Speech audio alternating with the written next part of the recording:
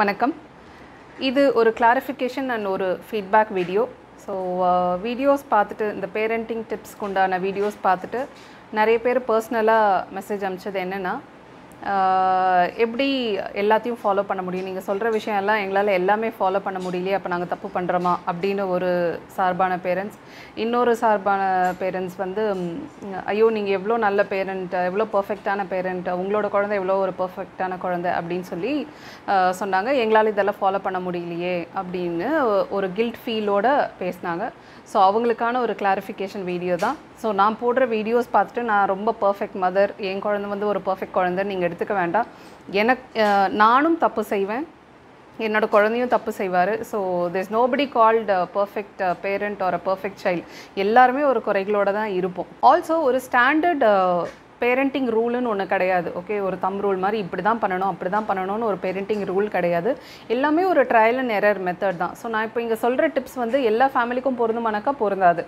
பத்தில் ஒரு ஆறு ஃபேமிலிக்கு தான் செட் ஆகும் நாலு ஃபேமிலிக்கு அது ஃபிட் ஆகாது. ஸோ நீங்கள் ஒருவேளை அந்த ஃபிட் ஆகாத ஃபேமிலியில் நீங்கள் இருக்கலாம். ஸோ அதுக்காக அதை நினச்சி நீங்கள் வருந்தக்கூடாது. ஐயோ நம்மளால் செய்ய முடியலையே நம்ம தப்பு பண்ணுறோமா அப்படிங்கிற அந்த கில்ட் ஃபீல் வேண்டாம்.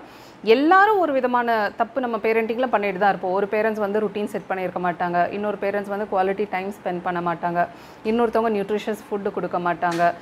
இந்த மாதிரி ஏதாவது ஒரு வகையான தப்பு எல்லா பேரண்ட்ஸும் பண்ணிட்டு தான் இருக்கும். ஸோ என் சார்பில் எனக்குரிய சில தவறுகள் இருக்குது நான் பேரண்டிங் பண்ணுறதுல அதே போல் என்னோட குழந்தைகிட்டயும் சில தவறுகள் இருக்குது ஸோ இதையெல்லாம் கடந்து வர்றது தான் பேரண்டிங் அண்ட் ஆல்சோ இந்த வீடியோங்க நான் போடுறதுக்கு முக்கியமான காரணம் என்னன்னு கேட்டிங்கன்னா முன்னாடி வந்து நம்ம பத்து இடத்துல கோவப்பட்டுட்டு இருந்தோம். பத்து இடத்துல தப்பு பண்ணிகிட்டு இருந்தோம்னா இப்போ அது வந்து கொஞ்சமாக குறைஞ்சி ஒரு ரெண்டு இடத்துல தான் நான் தப்பு பண்ணுறேன் ரெண்டு இடத்துல தான் நான் கோவப்படுறேன். அப்படின்னு நீங்கள் வந்து அதை சரி செஞ்சுருக்கீங்கன்னா அதுதான் எங்களுக்கான வெற்றி. ஹாப்பி மதர்ஹுட் ப்ரெசன்ட் ரெப்ரசன்ட் பண்ணுற எங்களுக்கு அது ஒரு வெற்றி.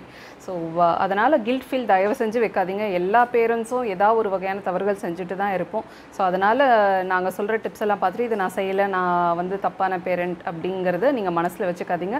There is no perfect parent good பேரண்ட்டாக இருக்கிறோமா? அதுதான் கொஸ்டின் ஸோ நம்ம குட் பேரண்ட்டாக இருக்கிறதுக்கு ட்ரை பண்ணுவோம். ஸோ அதுக்குண்டான முயற்சிகள் தான் நானும் ஹாப்பி மதர்ஹுட் டீமும் நம்ம நாங்கள் ஒர்க் பண்ணிகிட்ருக்கோம் ஸோ எந்த குற்ற உணர்ச்சியும் இல்லாமல் குழந்தைங்கள நல்ல விதமாக வளர்ப்போம். எல்லாருமே ஒன்றா சேர்ந்து.